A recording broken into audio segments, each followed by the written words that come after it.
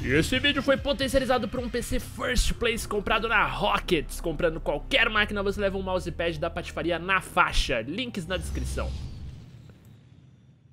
E aí galera, beleza? Aqui da Vana Patife, sejam muito bem-vindos a mais um vídeo pessoal E como vocês viram no título, será que em 2015 a Microsoft vai conseguir fazer o Xbox vender mais do que o Playstation 4? Ou pelo menos ali se equiparar, vender a mesma coisa? Pois é, é o que diz o analista financeiro, que eu acabei de esquecer o nome um...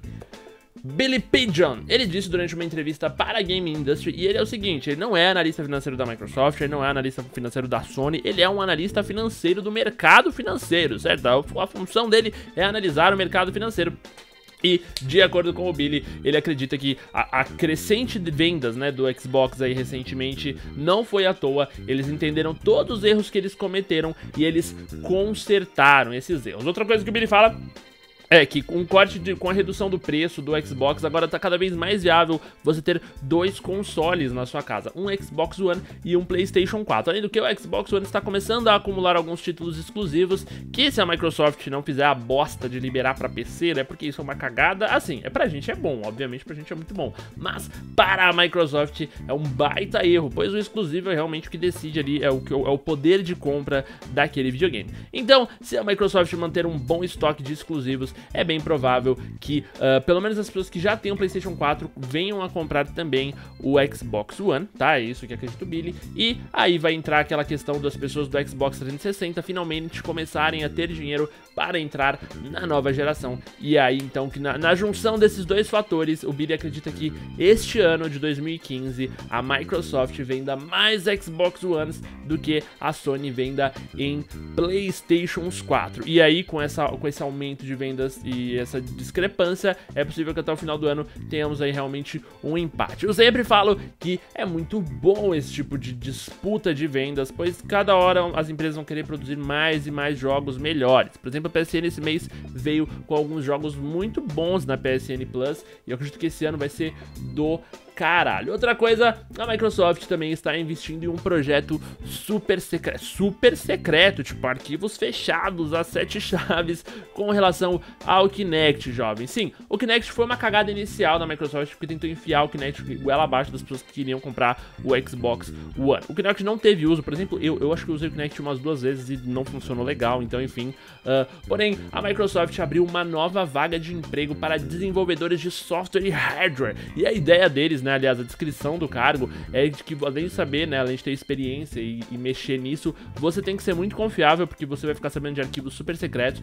Você tem que acreditar no futuro da tecnologia e querer revolucionar o mercado dos games com o Kinect. Então, a Microsoft, além de estar investindo pesado agora e consertando todos os erros que ela teve com relação ao preço de console, marketing, cagadas de DRM e tudo mais, além de tudo, ela também está investindo no desenvolvimento do, so do hardware, né? Do Kinect. E eles querem querem melhorar e realmente revolucionar o mercado gamer da atualidade. O Kinect é uma excelente ferramenta, eu não gosto dele ter sido enfiado pra gente goela abaixo nos, nos day ones da vida, porém é um excelente gadget, é um baita de um gadget então eu realmente acredito no potencial do Kinect também. Uh, temos aí grandes jogos tipo Just Dance, temos algumas coisas bem legais com o Kinect pra já se fazer. Então eu acredito que você melhorando essa tecnologia, a gente só tem a ganhar. Nós gamers com mais variedade, com mais produtos, com mais jogos, cara, a gente fica mais feliz, né? Eu particularmente estou bem feliz com o meu Xbox One. Uh, no geral, acho que falta jogos pros dois. Eu não sei porque, mas eu tô meio esganado, até porque agora o final do ano foi animal.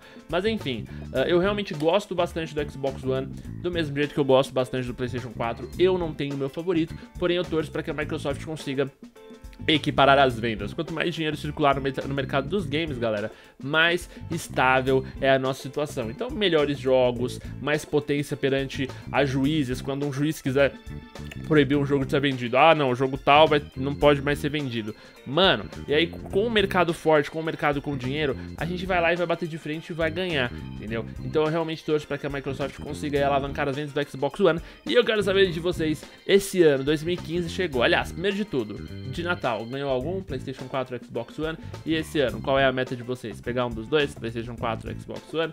Quero saber. Obviamente, nessa hora a gente não fala muito do Wii U, né? Vocês estão ligados que o Wii U, ele é muito, ele tem um público muito focado, é muito exclusivo e é um excelente videogame também. Eu tô jogando bastante Wii ultimamente, porém não entra neste assunto. Quero saber de vocês, a opinião de vocês. Acho que a Microsoft chega? Que console que vocês querem? Deixem aí nos comentários. Eu tô adorando a participação de vocês. Todos os vídeos estão tendo a média de 200, 250 comentários. Isso é muito divertido, sério. Uh, eu já tô fazendo aqui mais ou menos um projetinho para selecionar sempre os melhores comentários e citá-los e respondê-los aqui. Beleza, pessoal? No vídeo seguinte, né? Se você gostou do vídeo, não esquece de avaliar, deixando seu joinha, seu favorito, se inscrevendo no canal para muito mais conteúdo. Eu queria agradecer o apoio de todos vocês que assistiram até aqui. Um abraço do Patife, até a próxima, galera. E valeu!